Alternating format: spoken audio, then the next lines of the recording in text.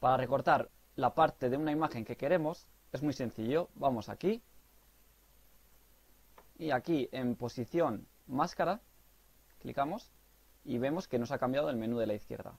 Entonces seleccionamos el, herramientas de creación de, limitadores, seleccionamos y lo único que tenemos que hacer ahora en la imagen que teníamos es bordear la parte que queremos guardar, es decir, en este caso la cara de este hombre de colorines.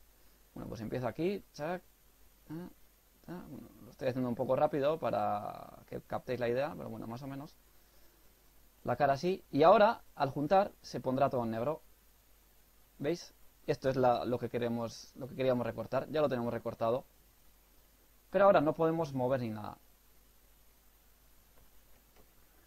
Ahora, para mover la imagen, vamos aquí al rombo este del tiempo, clicamos y ya podemos mover la imagen.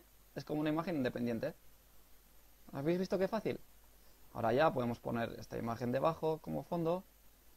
Ya pues esto estaría Podemos hacer lo que queramos, reducir el tamaño, ponerlo aquí, lo que sea. Esto también vale en vídeos, pero en vídeos el problema va a ser que se nos va a cambiar. Al darle a play ya se nos cambia, no se nos queda fija.